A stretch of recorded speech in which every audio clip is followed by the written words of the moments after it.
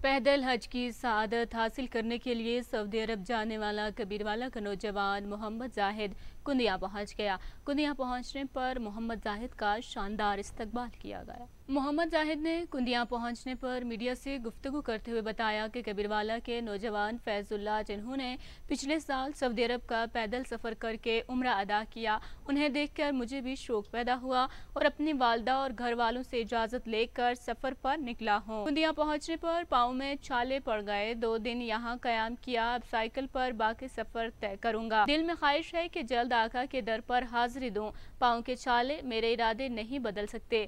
हज के अखराज ज़्यादा हैं इसलिए पैदल हज करने निकला हूँ। वहाँ पहुँच कर अपने वतन की सलामती और तमाम उम्मत मुस्लिमा के लिए दुआ करूँगा। हज का सफ़र करने के लिए निकला है। आइए उनसे जानते हैं। मोहम्मद जाहिद उनका नाम है। कि ये शौक उन्हें किस तरह पड़ा? असला सर। वालेकुम सर। सर काफ़ी अर्सा पहले जो है वो कबीर वाला के एक नौजवान फैजुल्ला दुनिया में यहाँ हमारे पास पहुँचा था और उसने पैदल जो है वो आज का सफ़र किया था। आप भी कबीर वाला के हैं तो क्या आप उसे देखकर आपको शौक हुआ? जी, बिल्कुल। मैंने उसको देखा और वो, उसका ताल्लुक हमारे इलाके से है। तकरीबन मेरे घर से, मेरे गाँव से तकरीबन दस किलो साथ है, दस किलोमीटर के साथ है। मैंने उसको देख कर इन ताला मेरे भी यहाँ जज्बा पैदा हुआ और मैंने कहा कि मैंने भी इन ताला सलाम करो जाकर देख।